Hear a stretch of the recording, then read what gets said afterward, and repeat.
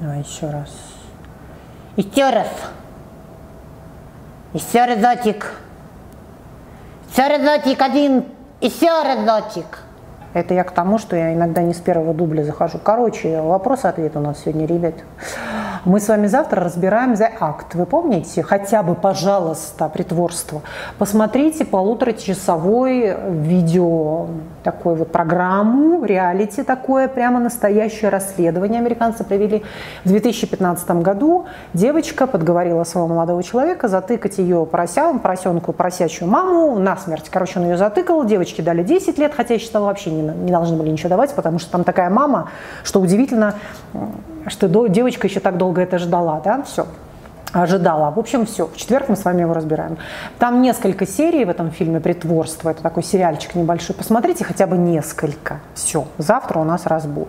Погнали. Почему некоторые мужчины отращивают длинные волосы и носят хвост? Объясняю. Объясняю. В большинстве случаев мне это, кстати, не нравится. Они мне неприятные, противные их волосы.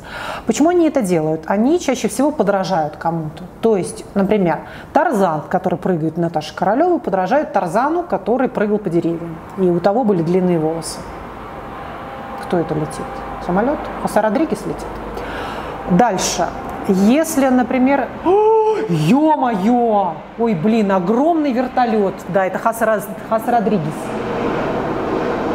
А дальше возвращаясь, допустим, это могут быть различные, ну, я не знаю, фанаты рок-музыкантов каких-то. То есть в его группе heavy metal там кто-то мочалка этой тряс, да, и, соответственно, он ну, вот фанател в свое время, и также эту мочалку отрастил и так далее. Кто-то подражает, как Джигурда, викингам, каким-то там рыцарям, да, и вот викинги, допустим, мне это очень нравится на викингах, потому что это мужественные люди очень. Они брутальные, покоцанные, в шрамах все, в какой-то этой кольчуге, вот в этой какой-то военном обмундировании. То есть они настолько, им это подходит. И викинги, например, они как делали? Они выбривали виски, отращивали посерединке вот такой кокон. Этот кокон они заплетали в косу, косу делали как дреду, она у них такая, как зачесанная такая и вот этот вшивый домик у них отрастал. У меня такое чувство, что там какие-то бегасики заводятся абсолютно точно. И моется вот эта вся кишка, наверное, один раз в год, я не знаю, то каким-нибудь яйцом. Правильно? Чем они еще могли мыть, викинги норвежские. А здесь по бокам у них татуировки.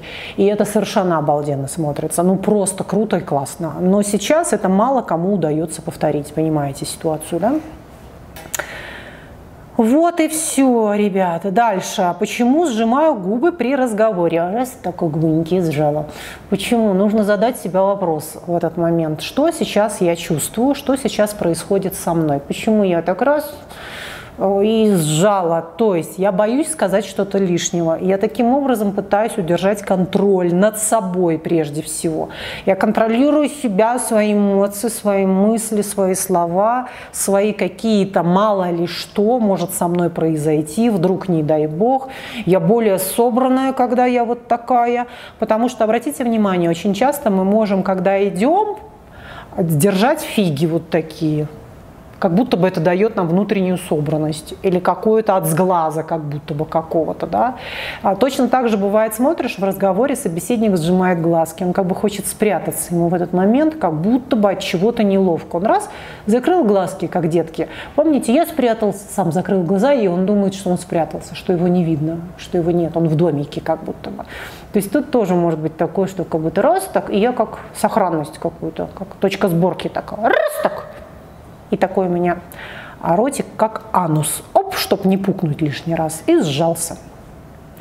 Как избавиться от агрессии к мужчинам? Подъебываю мужиков и этим отталкиваю. Во-первых, нужно определиться, каких именно мужиков вы подъебываете. Вы же не подъебываете всех подряд. Соответственно, есть ваша определенная излюбленная категория, которую вы подъебываете. И ее, пожалуйста, и попытайтесь вычленить. То есть есть те, которых вы не подъебываете. Это, например, какие-то старики, бомжи, алкаши, дети, подростки, родственники, возможно, и так далее. Потому что они не входят в группу потенциальных женихов. Скорее всего, речь идет о группе потенциальных женихов, с которыми могут быть какие-то мечты, перспективы мысли на будущие сексуальные и более близкие какие-то другие отношения. Вот и все. Вот подумайте, для чего вам их оттолкнуть? Что вы этим хотите сделать? Вы его хотите этим наказать, вы его хотите опередить, чтобы вот я тебе быстрее больно сделаю, ты мне уже не успеешь сделать. Вы хотите... Что он опять полетел уже назад? Что вы этим хотите, короче говоря, да, обязательно себе пытайтесь, попытайтесь это прояснить. И почему это происходит, когда это было в первый раз, когда это происходило, почему вдруг решили вы отомстить. То есть, например, я решила ему отомстить, потому что я видела, какие они ублюдки, как они издевались над моей матерью, как папа изменял маме, как он без конца ее там каким-то образом насиловал, бухал, пил и так далее, и так далее. Я думаю, вам не помешает наш Хосе Родригес, пусть летит с Богом покупает себе очередных шерханов, львов, всяких разных обезьян диких себе на фазенду. Ух, это, конечно, очень опасный бизнес, но дико прибыльный, наверное. Так, а Вероника, исправлять щербинку размером, как у Арнеллы Мутси? Ни в коем случае. Щербинка – это просто подарок Божий. Она, как ямочки на щечках, как, я не знаю, как, вот, как алмазные глазки какие, как нечто, что делает вас особенной уникальной. Это изюминка, от которой ни в коем случае нельзя избавляться. Вот я вижу там раз, смотрю, думаю, господи, вот Владос Мороз взял, зашлифовал себе эту и шикарную щербину, которая делала его безумным, обалденным. Все. Ну, обычная улыбка, все. Обычная, вот как у всех там, ну, я унитаз, ну, не унитазная, ну, почти унитазная улыбка. Ничего особенного вообще. Поэтому это самая большая глупость взять и исправить себе щербинку. Такая глупость. Ни в коем случае не делайте этого. Взломали ВКонтакте, шантажируют интимными фотографиями. Что делать или как это пережить? По поводу интимных фотографий. Девочка, причем молодая, красивая девочка мне пишет.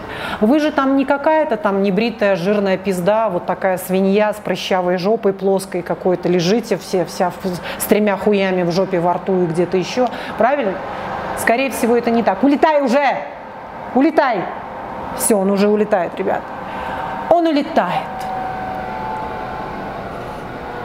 Но обещал вернуться, наш Хосе Родригес. Короче говоря, соответственно, скорее всего, это же не так, правильно? Потому что я помню, я такую порнушку одну видела, стояли в ванной пьяные бабы, жирные свиньи вот такие, причем ванна такая дебилистическая, вот самая, что ни на есть, совдеповская, ужасная, кошмарная ванночка такая узенькая, и туда как-то они все взгромоздились, и вот эти три свиньи с этими пездами лохматами, там какой-то дистрофик Валера пьяный или кто, или Геннадий, и вот это хуечек у него не стоит, у них эти титьки висят, и вот они что-то друг друга пытаются куда-то пихать, это вот этот пьяный кошмар. Я понимаю, что если такое у вас взломали, но вы бы такое и не загрузили. То есть, вероятнее всего, вы в контакт загрузили то, что вам очень нравится. То есть у вас красивая пися, красивая попа, красивые сиси, ну и покажите их уже вообще всему миру. Что здесь такого? Ну, что тут такого спешл особенного, я не знаю. Поэтому ни в коем случае никаким шантажистам платить не нужно. Вообще ни в коем случае. Никогда на самом деле. Соответственно, это просто нужно возглавить. Все. И не пытаться это спрятать. Хоть будет в старости, что вспомнить, на себя красивую посмотреть. Это же великолепно. Это красиво. Понимаете, да? Вот и все. Вот и все. Девочки, он ломятся в очередь, стоят, чтобы сделать эту фотосессию ню, так называемую, чтобы ее продемонстрировать потом, чтобы ее показать. А вы боитесь, кто-то вас этим шантажирует, прям смешно даже. Ни в коем случае не это самое. Не ведитесь на поводу у вот этого какого-то социально навязанного стыда, да, что мне стыдно, как я могла, я же должна быть такая хорошая девочка для всех и так далее. Выйдите из этого, из, этого, из этой зашоренности, откройте свой взор, расширите свое пространство, посмотрите все это, какое это все мелочное, что жить-то три дня осталось на белом свете, а мы это так все глобализируем, эта молодость у вас только, только вот на три дня дана вам эта молодость. Все, завтра ты превратишься в морщинистую старую жирную жопу, седую, нахрен никому не нужную. Поэтому наслаждайся сегодня своей прекрасной писей, которую нужно показать вообще всему миру. Любуйтесь, любуйся мир. Смотри, вот она, моя пизда. Вот и все. Вот это все к вопросу о том, что мы думаем, что мы будем жить ну, вообще просто бесконечно. А, так, если психолог понимает, что перед ним психопат, может ли психолог потихонечку его слить? Да любого клиента можно слить, вне зависимости от того, кто перед вами. Вот и все. Если он вам как-то не нужен, неприятен, и вы не хотите это прорабатывать, этот какой-то контрперенос со своим психологом, можете от, избавляться от кого угодно. Но я, например, люблю психопатиков. Чего? Ну, расстройство личности, скажем так, не будем называть это психопатиком, давайте это полноценно называть. Я люблю работать с расстройством личности. Это очень интересные пациенты. Почему вы хотите от них избавляться? Дальше вопрос. Как дать ему понять, что уже можно меня поцеловать? Ухаживает месяц, но не прикасается. Он не прикасается, потому что боится, что когда он прикоснется и начнутся какие-то поцелуи и что-то большее, это может спровоцировать у него страх, какую-то особую ответственность, и у него писечка не встанет. Все. И он как бы об, обфаршмачится, вот какая сука мне звонит, какого хуя ты мне звонишь? Все. Терпеть не могу, когда мне кто-то звонит. Хотя это может быть стоматолог мне звонит. Скорее всего, потому что у меня завтра прием. Ненавижу, когда мне звонят. И мне прям коробит вообще. А у меня прямо, когда я приезжаю в Россию, у меня есть русский телефон, мне начинают банки названивать, предлагать предлагать кредиты. Мне прям хочется, пошла нахуй, сука, и ты пошла в пизду нахуй, всех блокировать, орать на них хочется. Не могу просто, ненавижу, когда мне звонят, не выношу. Иногда мне кто-то напишет, давайте с вами созвонимся, созвонимся. И у меня могут встать волосы на жопе практически от этого. Ни в коем случае никогда в жизни со мной не надо созвониться. Хочешь что-то? Напиши. Зачем мне звонить? Она знает тем более. Я не знаю испанский язык. Какого хрена ты мне звонишь? Я все равно не, не смогу ни, ни о чем с тобой поговорить. Просто мне напиши, я хотя бы это смогу перевести. Как дать ему понять, что уже можно меня поцеловать? И ты подумай, она опять названивает. Вот сейчас я вас при вас. При вас. Алло. Aló, aló. Hola, eh, llamo del consultorio del doctor Javier Hernández. Sí, sí, sí. ¿El odontólogo? Sí, uh, hasta mañana, sí. Mañana a las 10. Sí, gracias. Ok, aquí los vemos. Gracias. Gracias. Ура! Я даже поговорила по-испански. Прикиньте, я уже стала понимать. Я уже стала понимать. Как дать ему понять, что уже можно меня поцеловать? Ухаживает месяц, но не прикасается. Так вот, он, короче, боится, что у него писюленька не встанет. Вот и все. И, соответственно, думает, ну, на, в следующий раз, в следующий раз, в следующий раз. Соответственно, ваша задача демонстрировать еще большую стеснительность, еще большее ускользание, еще большую какую-то нерешительность. Вот нет, нет, нет, нет, нет, нет. Тогда это немножечко снимет с него. Он и так чувствует, что вы уже хотите, чтобы он вас поцеловал. Он и так это все понимает, но он не может на это решиться. Соответственно, вам нужно продемонстрировать вот такую а, краснощекость, такую какую-то неловкость, девичью, девственную такую. Тогда он немножко успокоится, что он как-то почувствует себя более каким-то таким Почему парень в такси всегда садится спереди, а я сзади одна? Такое может быть по нескольким причинам. Ну, во-первых, он как, если это все в начале происходит, он чувствует дискомфорт, так как если он сядет с вами назад, ему придется, возможно, как-то вас целовать, держать за ручку, о чем-то говорить, развлекать, а он, возможно, еще стесняется. Если это отношение уже длительное, он явно не стесняется, это не про стеснение, ему комфортно сидеть спереди, он чувствует себя мужиком, контролирующим ситуацию, он, в общем, э, спереди ему все видно, и, в общем, все проще, веселее, интереснее. Вообще, Впереди сидеть интересно. Ты дорогу видишь лучше, тебя меньше укачивает, и музыку можешь переключить и включить кондиционер. То есть тут больше подконтрольности какой-то. А дети и женщины, вот они сидят сзади. Понимаете? Как бы оно вот более... То есть мужчине это простительно. В нашем случае всегда именно так и происходит. Коленька садится вперед, а я сижу, сижу всегда сзади. Как приручить в кавказского мужика к унилингусу? Значит, приучить кавказского мужика к унилингусу. Почему кавказские мужчины не любят делать кунилингусы? Объясняю. Дело в том, что у них очень сильно раз, распространена семейственность, а соответственно сплетни. Они безумные сплетники все. И вот они, а, там Шахназа, там ты сказала, а, Гуль, читай, там, там, да, Гульнара, ты знаешь Ахметка, там, ну, и они все вот, пока свои эчпечмеки там какие-то лепят, они кости моют, моют, моют, моют, моют, заловка, там свекровки, свекровка, там тетки, тетка, там, и он очень боится, что а Мухаммедка письку лежит мне. Да ладно, Мухаммедка письку лежит. Ай-яй-яй-яй, как это хорошо, пойду расскажу вообще, что Мухаммедка гульчатая письку лежит. А, и он боится, что вы его как, как бы как, как будто как он будет оголенный.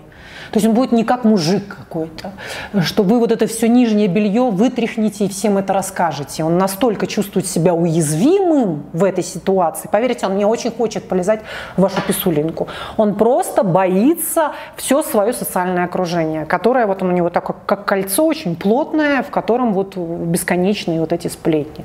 Соответственно, он должен четко понимать, что вам можно доверять что вы не расскажете то, что вам Ахмед лизал писю всем подряд. Вы не расскажете это его сестре по доброй душе, вы не расскажете это его какой-то там подруге, другу и так далее. Он должен вам доверять. Вот и все. Вижу, девочка молоденькая, не пойму. По-моему, сама тоже с Кавказа. Так, дочка любит трогать живот. Я нервничаю. Дочка любит трогать живот, потому что ей приятненько. Мамочкин животик. Она еще, дочка 11 лет, она у нее еще почему-то не включилась критика. Ну, 11 лет она еще маленькая, у нее еще, скорее всего, никаких месячных нет. Титечки едва там прорастают, и она еще чувствует себя ребеночком, ей приятненько. Мамин животик, она вот вот эта телесность, она вот на уровне каких-то там глубинных процессов, есть воспоминания, как она эту титечку сосала, как она с мамочкой спала, как она обнималась, вот это что-то такое очень тактильное, приятненькое. Потом, когда она зайдет в возраст подростковый, она уже поймет, что это вроде как не очень уместно, не очень как бы целовать и гладить животик мамочкин, да, но пока это все как в порядке, пока это окей. То есть 11 лет еще дитятка, можно еще. Вероника, какая психосоматика пота? Очень сильно потею, как от этого избавиться? По поводу пота сначала нужно точным образом исключить все соматические проблемы, то есть э, проконсультироваться со своим терапевтом, со своим гинекологом, сдать все анализы, посмотреть, может быть, какие-то гормональные сбои происходят. Если с этой стороны все в порядке, вот только тогда можно уже говорить о том, что это высокое напряжение. То есть, когда я очень сильно захожу в какое-то психоэмоциональное напряжение, движения я начинаю краснеть или потеть, или и то, и другое. Соответственно, если это связано именно с высоким напряжением, нужно работать именно с этим. То есть отловить те мысли, которые вызывают избыточное напряжение. Просто оно раз, и мой живот напрягается, как если бы вот я пресс перекачала. И вот тоже нужно отслеживать, где, в каких, при каких обстоятельствах я пережимаю свой пресс. В отношениях с какими людьми, в каких социальных там местах, э, что за мысли пробегают. То есть я наделяю этого человека очень чем-то значимым, очень чем-то большим для меня. И я пытаюсь как-то выстроить с ним какие-то особые отношения, поэтому стою в оборонительной позиции, позиции или, напротив, пытаюсь соответствовать излишне как-то. И вот эти вещи обязательно нужно проработать. Тогда будет уходить и этот пот, потому что он же в какой-то момент у вас проявляется. Вы когда сидите дома, читаете книжку, смотрите телевизор, вы не потеете, вероятно, правильно? Вы начинаете потеть в каких-то определенных ситуациях. В каких это ситуациях? И вот разберите это. Не могу терпеть любую людскую тупость. Как с этим бороться? Дело в том, что человека не должен быть, он не должен был быть особо умным. Случилось это почему-то за последние сто лет. Человек вдруг каким-то умным стал, непонятно почему. Вообще мы, в принципе, чуть умнее обезьян. Мы на протяжении вообще всех веков жили очень по-приматски, очень примитивно, как животные, абсолютные. В лесу бегали друг за другом с дубинками и так далее. Почему мы вдруг стали умными, непонятно. Поэтому людей умных их в принципе не так много. И если вы знаете, то полпроцента владеют вообще всеми недрами Земли, всеми богатствами Земли. Вот их, самых умных людей, вот, вот их сгулькин нос. Соответственно, когда вы видите то есть дикое количество пустых вилл стоит. Но они не просто пустые, они купленные, они чьи-то. Дальше дикие, дикое количество стоит вот эти небоскребы. Вот небоскреб, в котором я живу, вот я живу одна, и подо мной пять этажей никого нет, никто не живет. Но они все выкуплены. То есть целый небоскреб, он выкуплен, но в нем никто не живет. То есть я в этом лифте еду одна. Соответственно, людей, которые могут скупить все, их вот полпроцента, если не меньше. Соответственно, нужно это просто признать и принять тот факт, что куст, он, он если изначально куст, то он не будет никакой пальмой, понимаете? Пальма – это пальма, березка – это березка, кустик – это кустик, все. У людей есть ограниченные такие возможности. В силу вообще каких-то определенных биологических, прежде всего, данных. Все, мои дорогие, мы с вами завтра разбираем, разбираем, разбираем киношечку. Киношечку, киношечку. Я сегодня не очень хулиганила. Все. Подпис... Подпишитесь, пожалуйста, на мой YouTube-канал и заходите на мой сайт вероникастепановна.ком.